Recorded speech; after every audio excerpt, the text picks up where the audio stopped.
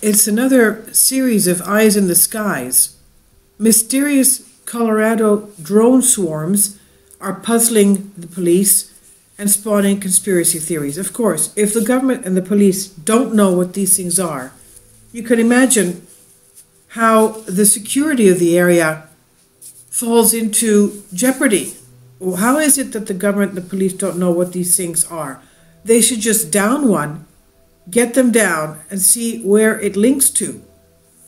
Now, this is uh, has been going ongoing, and it's just a systematic thing where they're over Colorado and uh, gridding in a grid pattern, three hours every night from seven until ten o'clock, uh, making uh, flights trying to examine something. Some of these have even gone peeking into people's homes through their windows.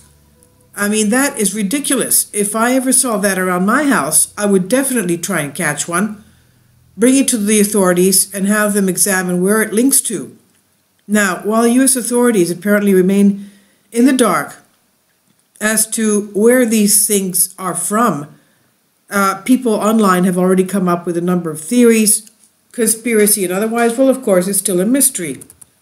Authorities in several Colorado counties moved to investigate the origins of these unusual drone sightings. The unidentified flying objects reported by local residents during the week, according to Fox 31 reports. Washington County Sheriff John Stivers explained to the media the drones were unusual seen flying in formations, he says here between 6 and 10 p.m. He says, I had reports of anywhere from 6 to 12. One person believed it to more than 12, close to 30 drones. It seemed like several of them were flying together or in three or four pairs, in groups, that is. Uh, now, according to their uh, Facebook announcement, 20th of December, 9:15 p.m., Phillips County Sheriff's Office uh, announced, we are aware of and have been investigating the multiple reports of drone sightings in the county over the last week. Deputies were out all night this evening, along with Yuma County SO tracking these drones. Tonight we tracked over 16 drones between the two counties. We believe that the drones, though startling, are not malicious in nature. Well, wait a minute. If you have them peeking through people's homes, of course they're malicious in nature.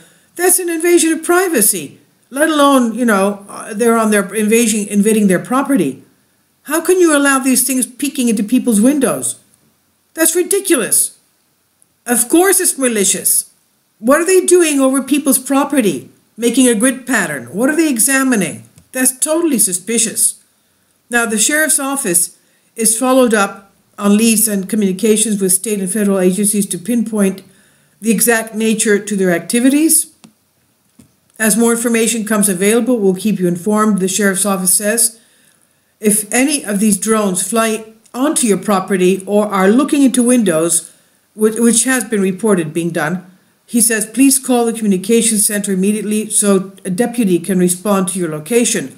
If you happen to come into possession of one of these drones, please contact the sheriff's office so we can conduct a forensics evaluation of the drone to identify the owners and take the appropriate actions. No kidding. I, should hope so.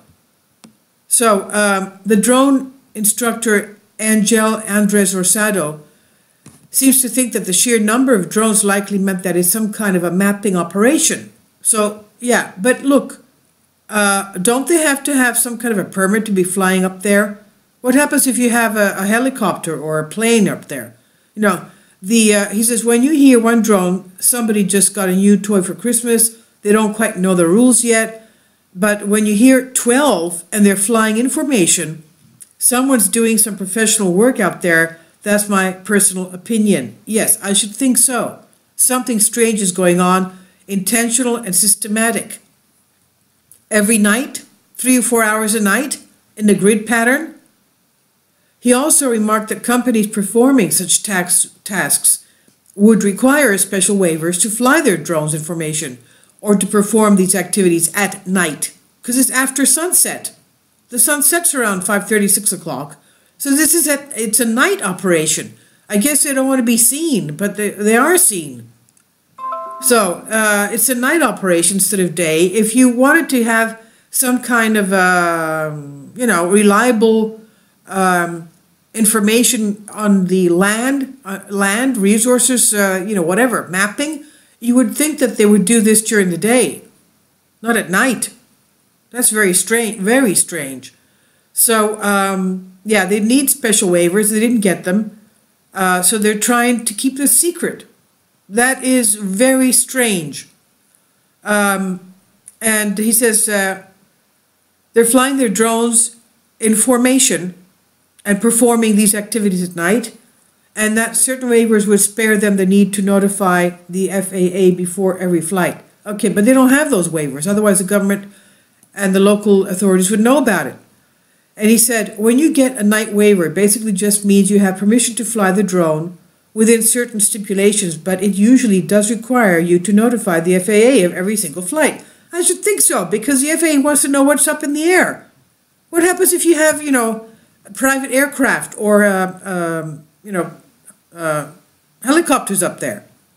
Now, according to the Denver Post, similar drone sightings are reported in one Nebraska county as well. They added that while the U.S. Federal Administration, Drug Enforcement Administration, and the U.S. Army Forces Command had no information on these quote unquote mystery flyers, Online gossipers, online gossipers already came up with their theories. It has to be the work of a Mexican drug cartel, one commenter on the Post website said. No, no, it's obviously aliens from a far off galaxy, another replied. Perhaps it's the History Channel looking for lost cities, another replied. Or ranchers trying to track their cows, another replied. Others theorize according to the newspaper, so it's all types of theories, but still, it's a night flight systematically every night and a grid pattern, and you need to do this, you need waivers and permits. And obviously for them to, they know, obviously they should know. Having drones and grid patterns every night, they should know very well that it's, uh, you have to have a waiver, but they don't get it because they don't want to show anybody their uh, intention of what they're doing. Very strange. Okay, this is on Sputnik News. And as the article says, this is also going on over in Nebraska. Now, I guess if we do look over our heads, uh, of course, it's difficult to see these at night, but uh, if we do sky watch, I'm sure we'll be able to find a lot more things going on. The thing is, why are they going on? To me, it's definitely suspicious. And if it's suspicious, it's also malicious, especially when they start peeking in through people's windows. That is uh, ridiculous ridiculously uh, dangerous, let's put it that way.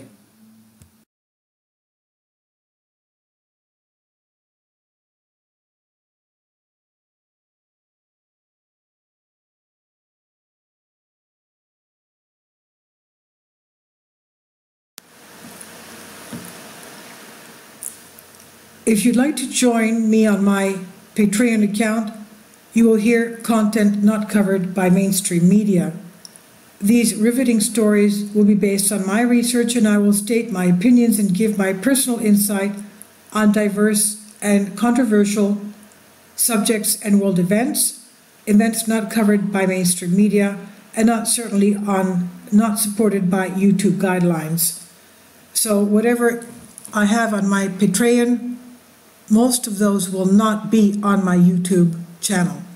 Please consider becoming a member today more of the, the most significant and important videos will be on my Patreon channel. Your support helps me to continue my research and keeps this YouTube channel alive. And we depend on your support, your generous charity, because we help economically challenged families here in Athens, Greece, in Kapota, and we also help the young generation with university tuition and the community around our church. Thank you.